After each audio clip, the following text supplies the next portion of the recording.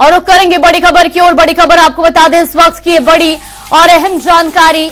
ये बड़ी खबर, भूपेंद्र हुड्डा, ब्राह्मण वाले बयान पर लगातार कायम है। बीजेपी नेताओं के बयान पर भूपेंद्र सिंह हुड्डा बोले, बीजेपी के पास कहने को कुछ नहीं है।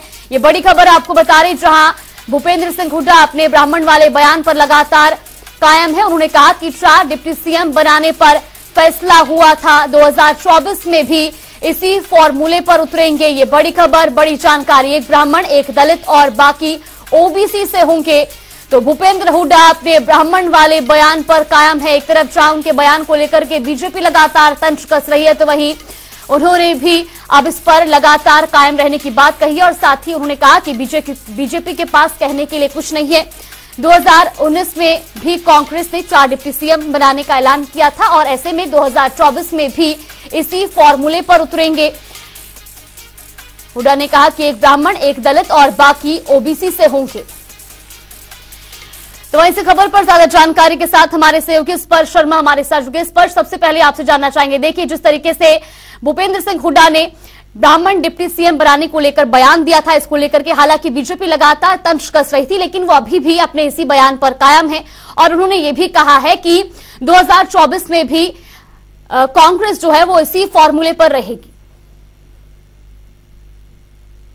देखिए बिल्कुल हरियाणा के पूर्व मुख्यमंत्री भूपेंद्र सिंह हुड्डा का ये बयान जो है देखने को मिलता हुआ नज़र आया जहाँ पर उन्होंने एक बार फिर से कहा कि आ, जो एक ब्राह्मण उप मुख्यमंत्री है वो देखने को मिलता हुआ जो है नज़र आएगा और सीधे तौर पर कहा कि दो हज़ार उन्नीस में भी ये फॉर्मूला जो है उनकी तरफ़ से देखने को मिलता हुआ नज़र आया था जहाँ पर आ, सीधे तौर पर बात करते हैं तो आ, चार डिप्टी सीएम बनाने का जो फॉर्मूला है वो देखने को जो है मिलता हुआ नज़र आया था जिसमें एक आ, जो है ब्राह्मण उप मुख्यमंत्री होगा एक दलित एक ओबीसी समाज से और एक सामान्य वर्ग से जो उप मुख्यमंत्री है वो आज जो है फ़िलहाल देखने को मिलता हुआ नज़र आएगा। यानी एक बार फिर से आ, जो है आ, जो आ, जो ब्राह्मण कार्ड है वो खेलने की कोशिश जो है यहाँ पर सीधे तौर पर देखने को मिलती हुई नज़र आई है और हमने देखा कि जब ये बयान दिया गया था उसके बाद से ही लगातार आज जो है आज जो बीजेपी के नेता है वो आज जो है पूर्व मुख्यमंत्री भूपेंद्र सिंह हुड्डा को घेरते हुए नज़र आ रहे हैं।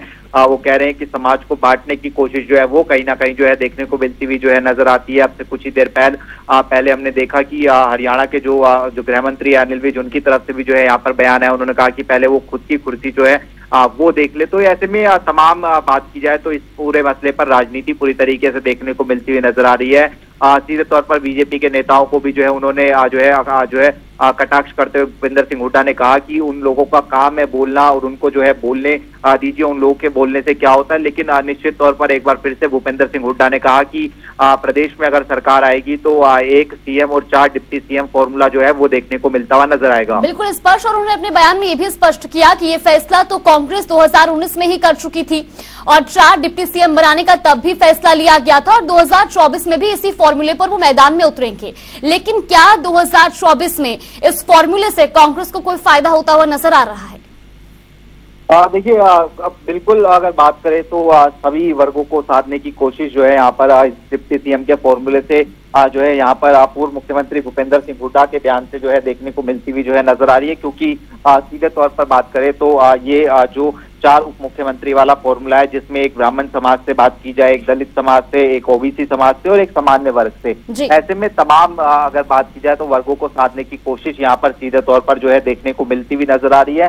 हालाँकि अब इसका कितना फ़ायदा देखने को मिलता हुआ नज़र आता है। कल हमने देखा कि कांग्रेस जो वर्किंग कमेटी की बैठक हुई थी उसमें जो जातिगत जनगणना है उसको लेकर जो है काफ़ी विचार देखने को मिलता हुआ नज़र आया था। कहा गया था कि हम आएँगे तो करवाएँगे।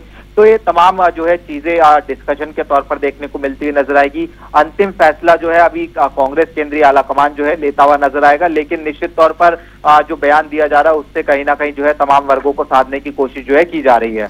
बिल्कुल, और एक तरफ़ जहाँ अपने बयान के ज़रिए वो सभी वर्गों को साधने की कोशिश कर रहे हैं तो वही बीजेपी भी लगातार अब इसको लेकर के जाति की राजनीति करने का लगातार उन पर तंज कस रही फ़िलहाल आपका बहुत बहुत धन्यवाद हमारे साथ जुड़ने के लिए और तमाम जानकारी हम तक पहुँचाने के लिए।